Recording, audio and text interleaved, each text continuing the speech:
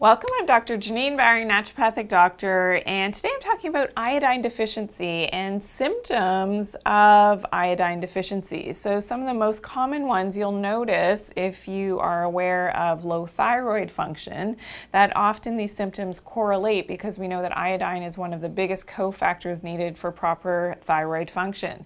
So the first one is lack of energy and fatigue. So if this is you, you know, make sure that you are upping and checking your iodine status, especially if you've got a number of these symptoms, because this is really important to make sure that you're getting enough. And people simply don't realize that iodine deficiency is very much linked to all of these symptoms, as well as muscle weakness. So not having, you know, the same type of muscle strength that maybe you did at another time in your life, feeling cold all the time. We know this is a telltale sign as well of that low thyroid function. Slow bowel movement, so constipation, very much related related to thyroid, but also an iodine deficiency.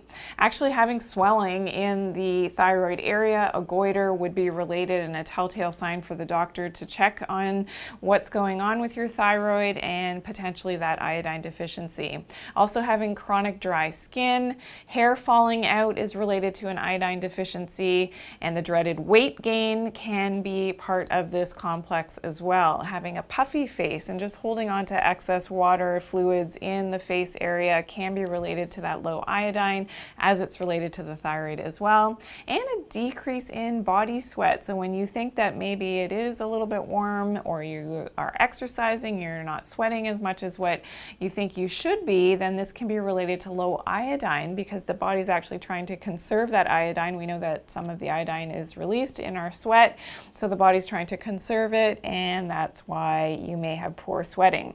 Also, high cholesterol can be another symptom of iodine deficiency, a slowed heartbeat as well, also learning difficulties and not having that active quick memory. So a loss of memory can be related to low iodine. Also for women, so chronic miscarriages can be related to low iodine as well as premature deliveries and also uterine fibroids. So that link has been made and making sure that your iodine and your thyroid function is optimized is very important if you suffer with uterine fibroids and heavy bleeding. So heavy periods for women as well can be related to this deficiency.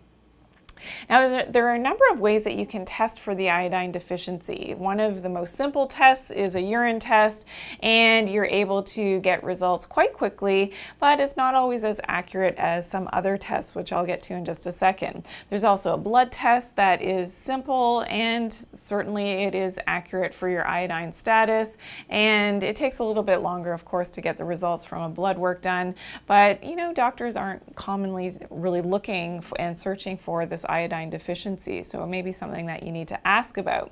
Also, there is something that I used to use with my patients, which gives, you know, some information. It's not, you know, the end all be all test, but it does give some information as to iodine st uh, status. And this is an iodine patch test. So what you do, and what I used to do is paint a little square on my patient's arm with some liquid iodine. And I would ask my patient to look at that spot for the next next 24 hours. And in 24 hours, it should probably be pretty much faded or gone or changed in color. Now, if that fading happened much more quickly, meaning that the body was soaking up that iodine more quickly, that would be an indication of an iodine deficiency. And it, it was really cool because my patients would be like, oh my God, that's so cool. Like it disappeared in a few hours. Um, so it was a telltale sign for them to know to make sure that they were upping their iodine status in their diet and then making those correlations with some of the symptoms of thyroid as well, which would be, again, you know, a great indicator of what was going on in terms of their iodine status.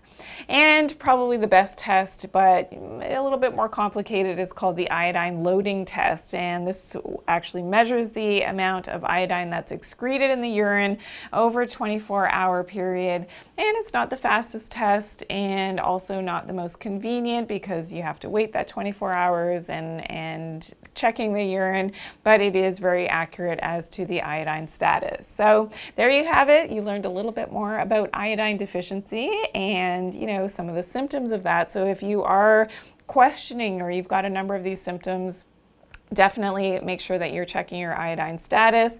And I'd love to hear from you as well. So if you do have questions about this video or any question about natural health and healing, I'd love to hear from you. Please drop it in that question and comment section below. Also be sure to share this video. I truly appreciate a big thumbs up if you can give that to me. Thank you so much.